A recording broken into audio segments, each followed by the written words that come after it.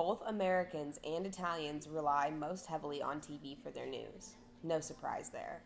However, it's interesting that only 20% of Americans rely on the newspaper when 56% of Italians do.